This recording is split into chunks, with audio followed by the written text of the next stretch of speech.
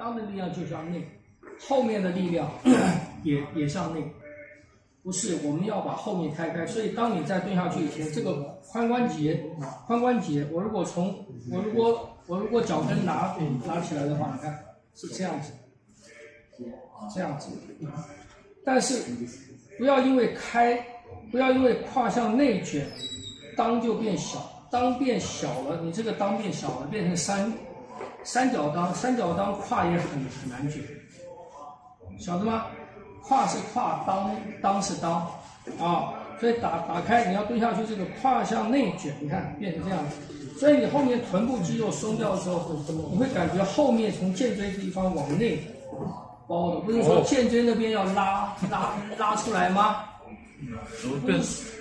就是说，肩椎这边要要这个这边的筋，腱椎跟骨盆的筋不是要这样子拉拉出来吗？那你这样子的话怎么拉？你这样子它是向内的啊，你这样子蹲下去，这个力量是向内向内的，所以我们的胯要向向内卷，你看向内卷，臀松掉，这个力量就往外往前面包，往前面包再把裆撑开，所以你在蹲下去，你在坐下去的时候。胯一个力量，裆一个力量撑开，所以是这样下来，下去是这样下，是这样下，这样下来，这是圆的，这是朝这里，所以你蹲下去的时候，你的马步的内侧的方向是朝这里包出去的，而不是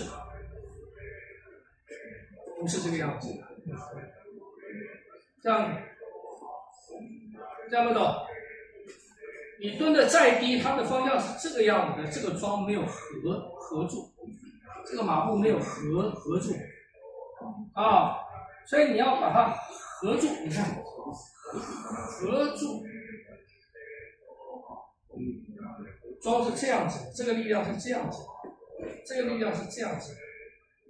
你自己蹲的时候就要知道，我这个腿的力量，你看是这样子，这个腿的力量是这个样子，